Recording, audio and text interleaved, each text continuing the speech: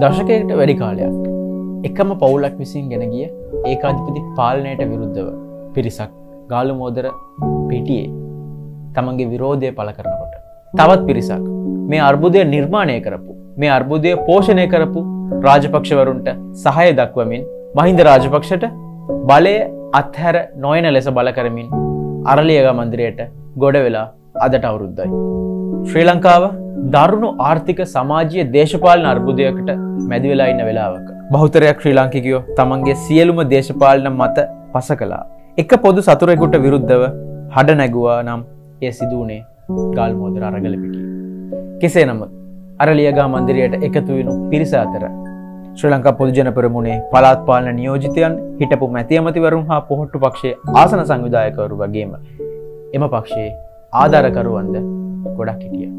අරලිගා මන්දිරේ ඒ රැස්වීම ඉවර වෙලා ඒ පිරිස එලියට ඇවෙත් මයින ගෝගම හෙවත් එවකට අගමති මහින්ද රාජපක්ෂයට බලයෙන් ඉල්ලා අස්වෙන ලෙස බල කරමින් සිටි අරගලකරුවන්ට ඉතාමත් අමානුෂික ලෙස පහර දෙනවා. අනතුරුව ඒ පිරිස කඩු පොළු රැගෙන ගාලු මෝදර අරගල භූමියටත් පහර දුන්න.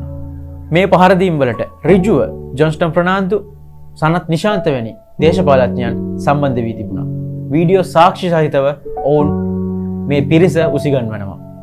සාමාන්‍යයෙන් ලෝක යුද නීතියට අනුව නැත්නම් යුද සම්ප්‍රදායවලට අනුව රතුකුරුස සංවිධාන සෙන්ජෝන්ස් වැනි ප්‍රථමාධාර කණ්ඩායම් වලට කිසිවිටක පහරදීම් සිදුවන්නේ නෑ යුද භූමිය පවා.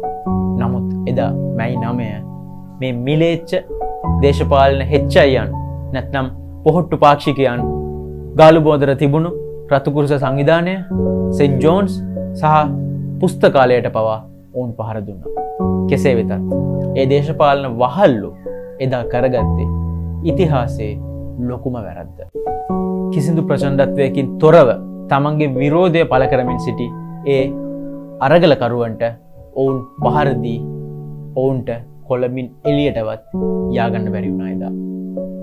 මොකද එදා සවස්වරුවේම අරගලයට සම්බන්ධ නොවිච්ච සාමාන්‍ය ජනතාව කෝපවී අරගලයට පහරදුන් මේ පිරිස සොයාගෙන ගිහිල්ලා ඔවුන්ට පහර දුන්න.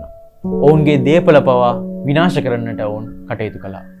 එවගේම එදින රාත්‍රියම එවකට අග්‍රාමාත්‍යය මහින්ද රාජපක්ෂ තම දූරයෙන් ඉල්ලාස් වෙනවා. මෙහිදී මතක් කළ යුතුම කාරණාව තමයි එදා දවල් ගුටිකාපු අරගලකාරයෝ නැත්නම් ගාලමෝදර පිටියේ හිටපු මිනිස්සු පවා කිව්වේ නිවෙන්න. ඔවුන් ගේට් සිරෝයකට නැගලා සාමාන්‍ය ජනතාවට සද්දෙන් කිව්වේ ප්‍රචන්්ඩත්වය එපා අපි නිවෙමු කියලා.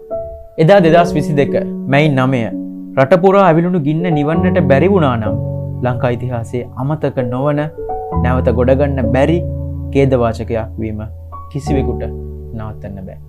කෙසේ වෙතත් මේ සියලුම ප්‍රචන්්ඩ ක්‍රියාවලට වක්‍රාකාරව සම්බන්ධ වෙච්ච ජොස්ටම් ප්‍රනාාන්තු සනත් නිශාන්තවදි දේශපාලත්ඥයෝ අදටත් ඉන්නේ නිදැල්ලේ.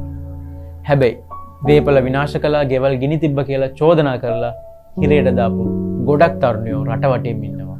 ඒගුලො අදටත් ඉන්නේ හිරේ. වර්තමාන ජනාධිපති රනිල් වික්‍රමසිංහ බලයට එන්නෙත්.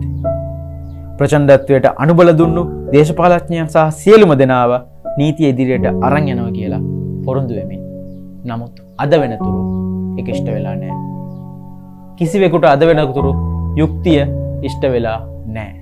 නමුත් බලයට කෑදර මහජන දේපල හොරකං කරපු දේශපාලත්ඥයන්ට පමණක් විනාශ වූ ඔවුන්ගේ දේපලවලට වන්දි මුදලනම් ලැබෙන්න